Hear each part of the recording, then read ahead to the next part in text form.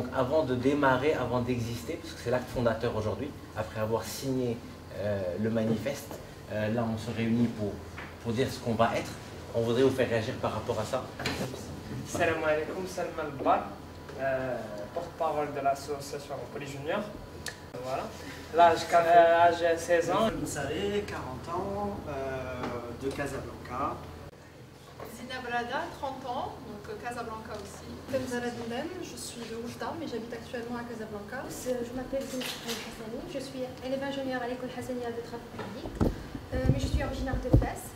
Euh, Shadi Sarah, euh, euh, originaire de Fès, euh, j'habite à Casablanca, je suis euh, élève ingénieur à l'école Hassania de travaux publics. Bonjour, je m'appelle Rita Shrabi, 31 ans. Bonjour, Fadela Benani, 27 ans, Kaza aussi. Euh, Bonjour tout le monde, je suis Souala Benani, âgée de 21 ans. Euh, je, je suis élève ingénieur de l'école Hassania de travaux publics. Euh, je viens de Khnefra. Yassine Lasri, je suis élève ingénieur à l'école Hassania de travaux publics. Mon âge est 21 ans. Bonjour tout le monde, donc, euh, je, je m'appelle Finek Alabas, je suis originaire de Rivera et je travaille, j'habite à Casablanca. Euh, on voit qu'il y a des initiatives partout, un peu partout, euh, euh, à peu près les mêmes points. On veut tous créer un changement, de nouveaux, de nouveaux leaders, la jeunesse qui, qui, prend le dessus, mais on voit que ça, se répète sans que ça, se concrétise. Est-ce que la- l'initiative Tarak Nouziyad aura un plus par rapport aux autres? Nous avons tous une envie de changer, de changer les choses, mais chacun y pense individuellement, donc finalement on découvre qu'il y a plein de personnes. C'est votre pensée et aussi les actes. Donc on vous, demande de réfléchir avec nous pendant les débats à ce, ce qu'est TIDI, ce qu'elle doit devenir. Parce que TIDI c'est vous et c'est vous qui devez vraiment euh, la diriger et faire, euh, faire d'elle ce que vous voulez. Qu'il n'y a pas vraiment d'organe qui va imposer sur vous des avis ou des idées. En cours euh, maintenant en Syrie euh, et au Yémen, euh, en Algérie un peu, oui, bon, ça a été vite imprimé. Et le Maroc. Bon, le Maroc, il y a eu une étincelle, c'était euh, le mouvement du, du 20 février. Alors le 20 février, il y a eu des milliers de manifestants qui sont descendus dans la rue pour crier un peu leur, colère à, peu- à cause de la mauvaise situation euh, quotidi- qu'ils vivent quotidiennement. plus ou moins indignés, frustrés de ce Maroc euh, qu'on aime, qu'on aime tous, euh, mais qui en même temps euh, nous révulse. Et il y a une volonté d'agir. Et comme je pense que comme nous tous, on a tous été perdus à un moment donné, et comment passer à l'action? D'où euh, la Tariq ibn Ziyad. Enfin, il y a un article, un très bel article de Delis Shraibi Jezed, qui est un écrivain marocain, dans Actuel en avril dernier, où il parlait, il disait, je trouvais ça très joli, enfin très beau, il disait qu'il faudrait qu'il y ait 100 justes, 100 nobles au Maroc. Ces 100 nobles, euh, c'est des gens qui serviraient sans se servir, qui travailleraient pour le Maroc avec leur cœur, dans le silence, dans l'ombre. Euh, et il finissait l'article en disant un ordre de chevalerie en somme. Un ordre de chevalerie. Donc l'idée c'était de faire quelque chose pour travailler à court terme, sur le terrain, tout de suite, mais avec une vision de long terme. Euh, travailler sur un projet pour la société marocaine dans son ensemble, mais porté par les jeunes. Alors pourquoi, pourquoi le cheval, pourquoi Tariq ibn etc. Euh, parce qu'il y a dans... D'abord, Tariq ibn est un berbère, est un berbère, un stratège, qui a, qui a été surtout à l'aube, au démarrage de l'âge d'or de l'islam, qui était euh, l'Andalus. Euh, il y avait une ouverture, une tolérance, les sciences. Les Arabes étaient au, au summum de leur, de leur euh, civilisation. Aujourd'hui, donc pour moi, Tariq ibn était quelqu'un qui allait permettre aussi de recréer, Inch'Allah, une apogée maghrébine marocaine. Pourquoi Tarek nous aussi? Parce qu'il avait 12, 000 cavaliers. En transportant ces 12 000 cavaliers euh, en Andalousie, ils ont fait la conquête. Et dernièrement, il a dit une phrase très célèbre que vous connaissez tous, plus ou moins. Ah, hein. Et cette. Euh, je trouve ça très intéressant parce qu'il est au pied du mur. Il met ses soldats au pied du mur. Il leur dit écoutez, soit vous allez en avant, vous allez réussir, soit vous allez revenir, vous allez. Aujourd'hui, on développe, on va. On développe. Il y a ce Maroc dont nous rêvons, des comportements sains, des choses positives, et ce Maroc que nous, que nous ne voulons plus. Et cette concurrence des deux Maroc, c'est exactement ça. L'adou, amamakum, on voit ces pratiques-là. Soit on les laisse nous gagner, on ne fait rien. Soit le Maroc dont nous rêvons, eh ben, de nos mains, nous allons le construire. Il faut construire ce rêve-là. Chacun a, son rêve. si on venait à ramener ses rêves, en faire un rêve global et travailler pour réaliser ce rêve, eh bien peut-être que c'est pour ça que Tarek nous initiative, Moubadara, c'est une initiative pour justement repartir à la conquête d'un rêve et le, ramener à la réalité. Entre 400 et 500 000 personnes qui ont 18 ans. C'est le même, il y a 400 000 personnes qui ont mon âge, qui ne sont pas encore électeurs. Donc entre, entre 2007 euh, et aujourd'hui, il y a 2 millions de nouveaux électeurs potentiels. Et entre les 18 et 35 ans, il y a 6 millions d'électeurs potentiels. La différence qu'il y a eu entre le PJD et l'Estirlal en termes de vote en 2007 était moins de 100 000 euros. On peut avoir un impact sur les prochaines législatives. Donc, un, un euh, donner le niveau d'exigence politique tout de suite. Deux, éveiller la conscience des gens en leur disant alors on peut changer les choses. Si on est bien accompagné, et eh ben dans 5 ans, dans 10 ans, dans 15 ans, eh ben on aura de bons candidats, on aura de bons partis. Donc on prépare la politique aujourd'hui, mais à vraiment long terme, sur 4, 5 ou 6 législatures. Voilà un peu l'idée résumée de Tizi. Le projet de société, c'est ce qui est en ligne sur le site que vous pouvez récupérer ici en sortant. Alors, il y a deux phases. Il y a un diagnostic, ce Maroc dont nous ne voulons plus. Il y a un véritable diagnostic de ce qu'on n'aime pas. On récapitule tout. Et ensuite, ce Maroc dont nous rêvons.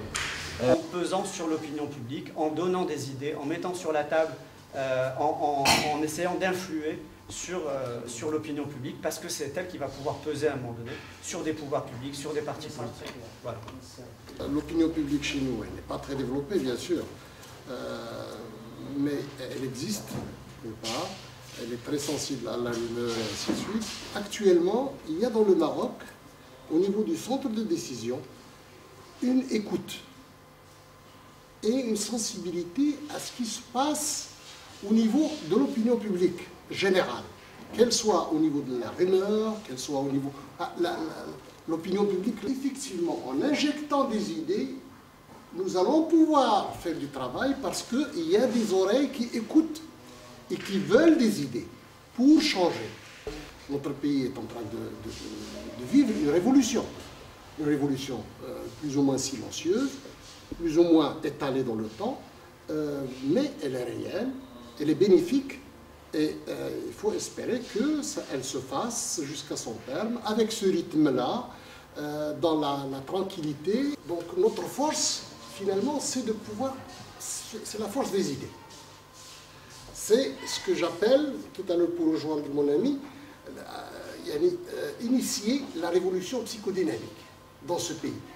هذا الشيء واحد العدد ديال الشاب الشباب تيقول لك il faut nous changer nous-mêmes donc c'est une prise de conscience mais l'intérêt national en lui-même euh, nous l'avons perdu le patriotisme le sens du patriotisme euh, nous, l'avons perdu je pense qu'aujourd'hui on ne doit pas euh, s'attendre à un fruit ou à une récolte demain. Non, c'est dans 30 ans. Une génération, c'est toute une génération. Et si ça ne change pas à partir d'aujourd'hui, et si ça ne change pas demain ou après-demain, on ne doit pas venir après 30 ans et se lamenter, se pleurer et se dire au moins on doit la faire.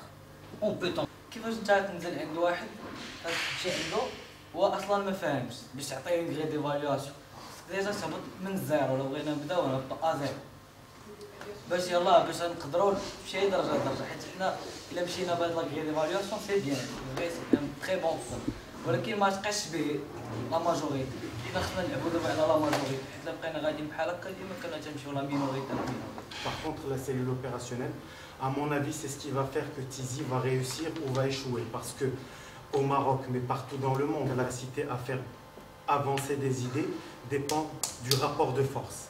Et le rapport de force, on arrive à le construire quand on est nombreux. Donc les gens, par exemple, du 20 février ont réussi à faire avancer des idées parce qu'ils sont sortis nombreux dans la rue. Donc c'est grâce à eux qu'on a une nouvelle constitution qui est un peu moins mauvaise que la précédente. Alors maintenant, si Tizi arrive à réunir pas 60 personnes, mais des centaines de milliers de personnes, grâce aux réseaux sociaux, grâce à leur communication, on arrivera à semer ces idées positives dans l'esprit des gens. Donc je pense que s'il faut concentrer de l'énergie, des moyens, de l'enthousiasme sur une mission, c'est celle de mobiliser les gens avec cette cellule opérationnelle qui peut être une cellule de mobilisation. Tizi doit se manifester pendant les élections. Elle doit être reconnue, on doit pouvoir la déceler. Pas à grande échelle, mais elle doit absolument euh, poser sa, signature ou bien sa trace. في المناطق ربما كتقراوها أو شفتوها ولكن أنا عايشة أن كاين شي واحد كيعطي مثلا فرده ديال الشربيل وكيقول لها تخرجي لي تعطيك فرده أخرى الشربيل كاين مجموعه الممارسات اللي بزاف. اذا في هذا خضم هذه الصورة السوداوية وفي هذا كذا كذا حنا داخل مبادره طارق بن زياد فكرنا في المرصد السياسي أننا آه، نخرجوا للواقع مجموعة ديال المحددات أو لي غري ديال ليفالياسيون ديال الأحزاب السياسية. على مجموعه ديال بزاف المعايير اللي على أساسها أننا غنحددوا فعلا آه، فين هي الأحزاب بصفة عامة اللي يمكن لها أننا نعطيوها الأصوات ديالنا أو أننا نريكومونديو الناس أنهم يصوتوا عليها. الوغ آه، الهدف داخل المرصد السياسي قلنا هو اننا نعطيو أكثر واحد بلوس دو ليزيبيليتي بور لي بارتي بوليتيك بالنسبة لي جون on a mis en œuvre des grilles d'évaluation qu'on compte diffuser par la suite. يعني les résultats ديالهم كون diffuse par la suite. الآن دابا حنا في المرحله ديال لا ريكولت دانفورماسيون سيتادير غادي نهبطوا عند الاحزاب السياسية غنهبطوا عند مجموعة ديال المعايير اللي غادي نذكروها بار لا سويت وغادي نشوفوا فعلا غنجمعوا لهم فورماسيون على أساس داك لي غري ديالنا. المرحلة الثالثة واللي هي لا في ديال ديال لي زيليكسيون on va diffuser l'information, on va diffuser ce qu'on a, a, a recueilli, peut le NAS, par les médias, par le, le, les, moyens possibles. Voilà ce qu'on a trouvé comme observateur politique de, l'initiative Tarek. Et voilà ce qu'on euh, voilà ce qu'on a recueilli comme information. Vous trouvez ici partie 1, partie 2, partie 3 par exemple, X, Y, Z. Il y a les programmes, les réalisations des partis euh, par rapport à la dernière législature, les hommes politiques des partis, les instances internes. Chaque chaque volet درنا فيه une grille d'évaluation qui a دي حتى هي عاوتاني فيها معايير. بزاف ديال المعايير. كل معيار عنده واحد السكور ديالو عنده واحد الكوفيسيون ديالو. داخل المرصد السياسي هو كي كيرتكز أساسا على محددات علمية. يعني كاينة كاينة إحصائيات كاين معايير علمية اللي اتخذت بمشورة مجموعه المتخصصين في المجالات. وبالتالي في الخطاب ديالنا داخل المرصد السياسي خلال هاد لي غري ديفالياسيون حنا كنخاطبوا ناس اللي كي au, premier rang, on a qui font l'ARCAM, qui font l'IHSAIET. Voilà, donc euh, les partenaires euh, médias ciblés, c'est euh, des groupes écomédias comme l'économiste atlantique, les, les, presses arabophones, on a parlé de, de l'arabe, mais aussi les presses francophones, des radios, des télévisions et même des presses internationales et euh, notre partenaire sondage, parce qu'on a un partenaire sondage qui s'appelle Averti. دونك سي بروميير واش كاينه فعلا ديمقراطيه داخل الحزب داخل واش كاينه تمثيليه جميع المكونات ديال الشعب المغربي وجميع الجهات ديال الشعب المغربي داخل الحزب avoir un système de valeurs enfin, et qu'on note de manière importante avec plusieurs critères de coefficient T5 5 euh, c'est pour voir les partis qui ont vraiment qui vont défendre cette valeur qui vont défendre ces valeurs de changement qui vont revaloriser le travail par rapport à une, économie de rente, etc. Donc ça, c'est le premier point. Le deuxième concerne la création de l'emploi et la lutte contre la précarité, qui est également un des, axes majeurs sur lesquels vont se tourner ces élections. Le troisième, l'éducation, sur la revalorisation du travail des, professeurs. Euh, par ailleurs, il y a l'aspect politique et politique social. Donc au, jour le jour, les, services rendus aux citoyens, l'hôpital, les, services rendus par les hôpitaux, et les, transports dans les villes, etc.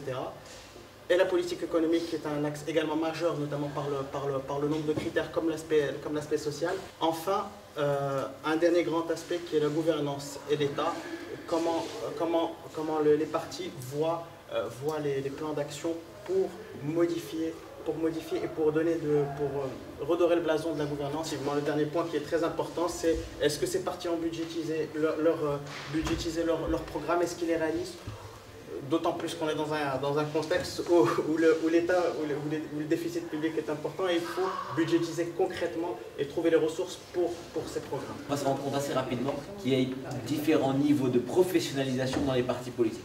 Et c'est ça qu'il faut qu'on prenne conscience nous en tant qu'électeurs. Mais même les partis, il faut leur dire attention, alors vous, êtes, avez 25% alors que l'autre que vous critiquez, il a 55 ou 70. Il faut que c'est vraiment euh, des prises de conscience pour les électeurs, mais même pour les partis.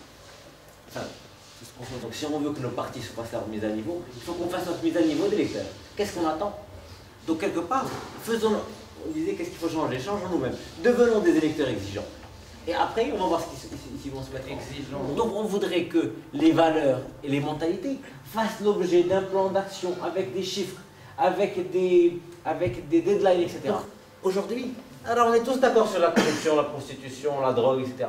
Mais qu'est-ce qu'il y a des plans d'action concrets On veut mettre en avant les systèmes de valeurs en disant, les clés parties, je, on voudrait, nous, électeurs, que vous nous proposiez des choses sur ça. Donc c'est un outil à crédibiliser et qui va pouvoir jouer plus tard.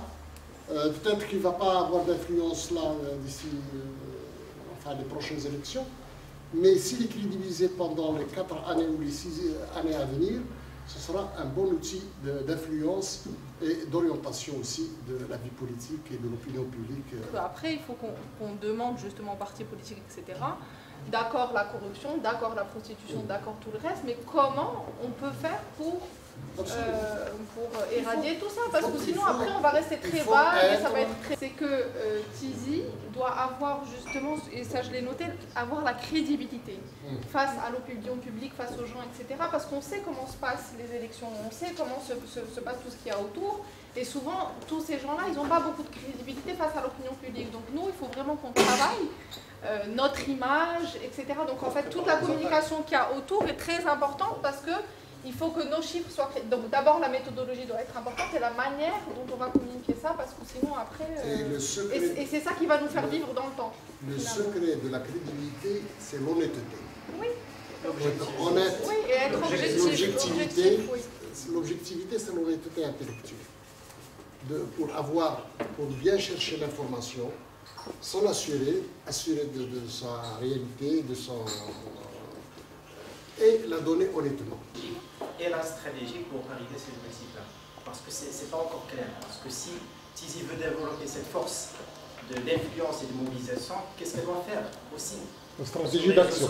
Il y a une question majeure qui va être l'objectivité.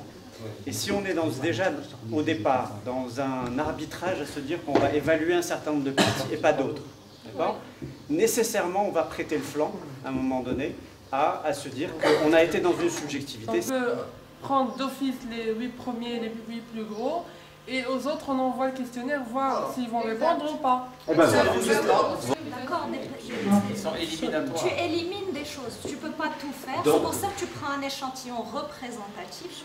Et je pense que cet échantillon de partis politiques, ça représente les, gens qui nous gouvernent. Oui, mais là c'est au risque de notre... C'est une première, et pour toute première initiative, il y a toujours des erreurs et, et, c'est le fait de les corriger après et le fait de, travailler sur la durée, c'est ça ce qui va nous permettre d'avoir un travail bien fait. Alors Silman, Silman adore le changement parce que je l'ai vu il y a 48 heures, il avait une couche de 20 cm de cheveux. et là il a gardé 2 mm. Vraiment c'est